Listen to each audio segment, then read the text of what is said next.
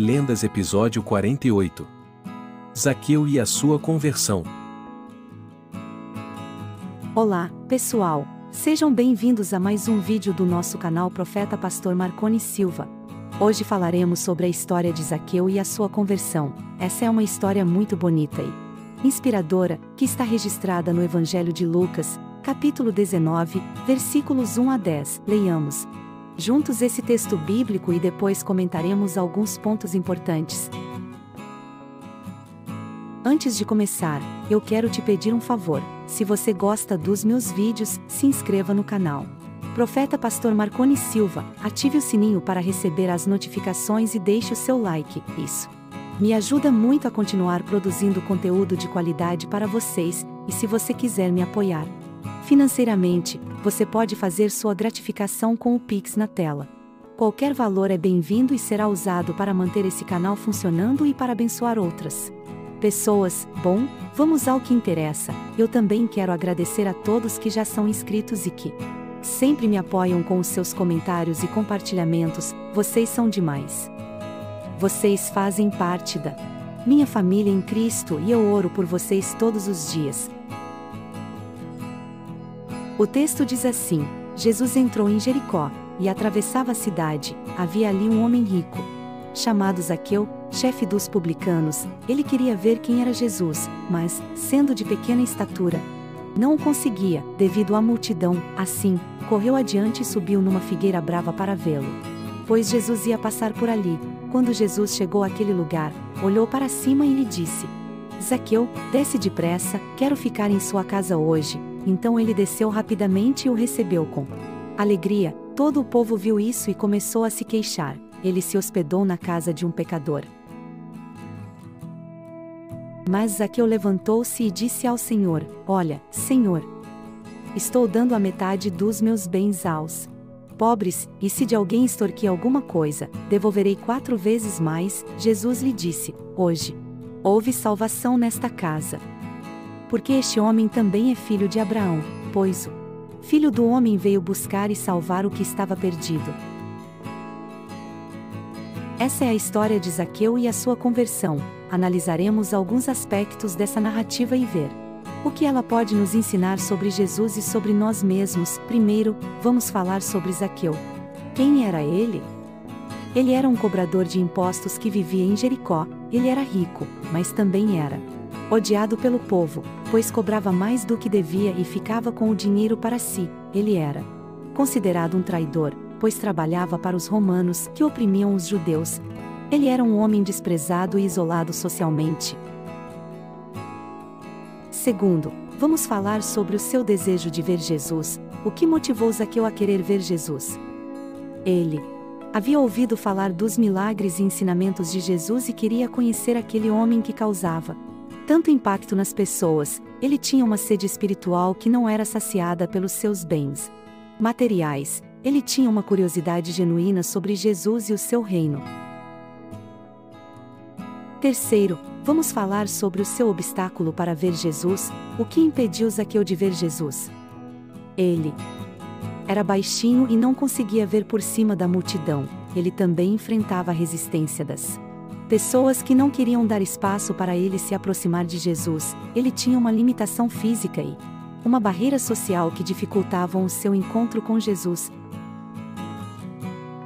Quarto, vamos falar sobre a sua solução para ver Jesus, o que fez Zaqueu para ver Jesus. Ele teve uma ideia, subiu em uma figueira que estava à beira do caminho para ver melhor, ele não se importou com o que os outros pensariam dele, pois ele estava determinado a ver Jesus. Ele usou a sua criatividade e a sua persistência para superar o seu obstáculo. Quinto, vamos falar sobre o chamado de Jesus. O que disse Jesus para Zaqueu? Jesus chegou perto da árvore, olhou para cima e disse: Zaqueu, desce depressa, pois hoje eu devo ficar na tua casa. Jesus sabia o nome de Zaqueu e o chamou pelo nome, ele também sabia o que Zaqueu precisava, de um encontro com ele, ele não se importou com a reputação de Zaqueu, mas com o seu coração. Sexto, vamos falar sobre a reação de Zaqueu.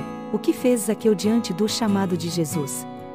Ele desceu da árvore e levou Jesus para sua casa. Lá, ele recebeu Jesus com alegria e preparou um banquete para ele e seus discípulos. Ele demonstrou hospitalidade e generosidade para com o seu convidado especial.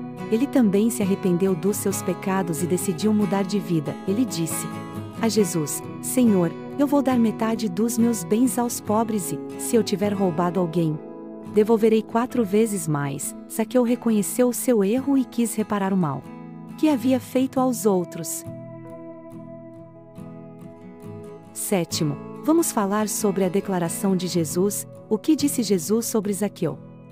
Jesus ficou feliz com a atitude de Zaqueu e disse: Hoje houve salvação nesta casa, pois este homem também é filho de Abraão, pois o filho do homem veio buscar e salvar o que estava perdido. Jesus declarou que Zaqueu era salvo pela fé e que ele pertencia ao povo de Deus, ele também afirmou que a sua missão era resgatar os pecadores e levá-los ao arrependimento.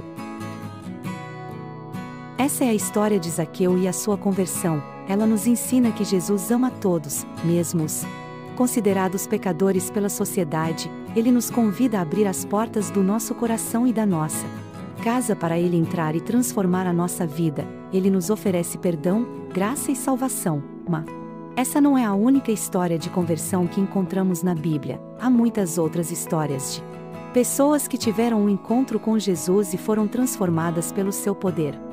Veremos alguns exemplos.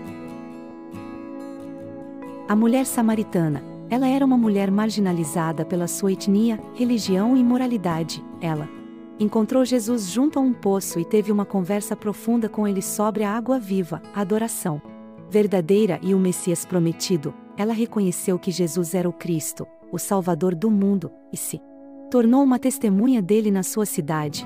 Você pode ler essa história em João 4. O ladrão na cruz. Ele era um criminoso condenado à morte na cruz ao lado de Jesus. Ele viu a inocência, a dignidade e a autoridade de Jesus e pediu que ele se lembrasse dele quando entrasse no seu reino, ele recebeu de Jesus a promessa de estar com ele no paraíso. Naquele mesmo dia, você pode ler essa história em Lucas 23. Saulo de Tarso. Ele era um fariseu zeloso que perseguia os cristãos com violência e ódio. Ele encontrou Jesus no caminho de Damasco, quando uma luz brilhante o cegou e uma voz o chamou pelo nome, ele reconheceu que Jesus era o Senhor e se tornou um apóstolo dos gentios, levando o Evangelho até os confins da terra. Você pode ler essa história em Atos 9.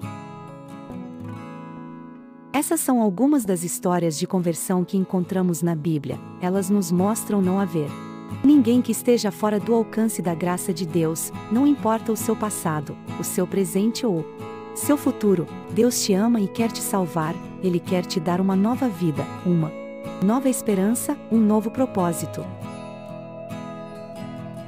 Essas histórias de conversão na Bíblia nos revelam a infinita misericórdia e o amor incondicional de Deus por todos nós, elas nos mostram não haver limites para a graça redentora de Deus e que Ele está sempre pronto para receber aqueles que se voltam para Ele em arrependimento e fé. Portanto, assim como Zaqueu, a mulher samaritana, o ladrão na cruz e Saulo de Tarso, somos todos convidados a nos aproximarmos de Jesus com humildade e sinceridade, reconhecendo nossas falhas, arrependendo-nos de nossos pecados e abrindo nossos corações para receber a salvação que ele oferece gratuitamente. A história de Zaqueu e sua conversão nos lembra que não importa quem somos, qual é nosso passado ou qual é a nossa posição na sociedade? Jesus nos ama e deseja nos oferecer perdão e salvação, Ele está sempre disposto a nos receber, a nos transformar e a nos guiar em uma jornada de fé e redenção. Que possamos aprender com Zaqueu a buscar a presença de Jesus em nossas vidas, a superar o obstáculos que nos separam dele e a responder ao seu chamado com alegria e generosidade. Que possamos nos arrepender de nossos pecados, nos render ao seu senhorio e viver em comunhão com Ele todos os dias de nossas vidas. Que a história de Zaqueu e sua conversão nos inspire a abrir nossos corações para o amor e a graça de Deus e a compartilhar essa mensagem transformadora com aqueles ao nosso redor, que possamos ser instrumentos de reconciliação e esperança em um mundo que tanto precisa do amor de Cristo. Agradeço por dedicar seu tempo a essa reflexão, e se você gostou deste vídeo, não se esqueça de se inscrever no canal Profeta Pastor Marcone Silva, ativar o sininho e deixar o seu like, se desejar. Apoiar financeiramente este ministério, deixe sua gratificação com o Pix na tela. Que Deus abençoe grandemente sua jornada de honrar a Deus com suas finanças.